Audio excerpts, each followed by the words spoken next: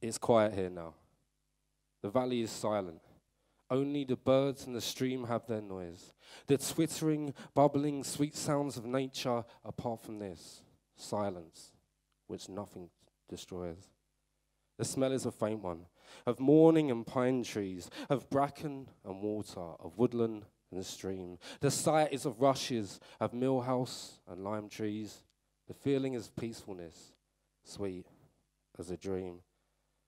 But at one time, this valley, this valley of heaven, become the most torturous valley of hell. For the fighting was bitter, the Hun held on grimly, regardless of losses, and many men fell. For the British come north, and the silence was shattered by rifle, machine gun, trench mortar, grenade, the Messerschmitt diving, slow, but sickening.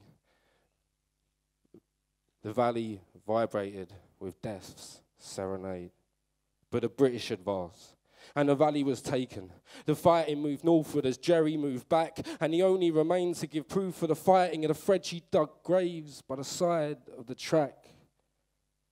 Again, it is peaceful. The valley is silent. Only the birds and the stream have their noise. The twittering, bubbling sounds of nature, apart from this, silence which nothing destroys.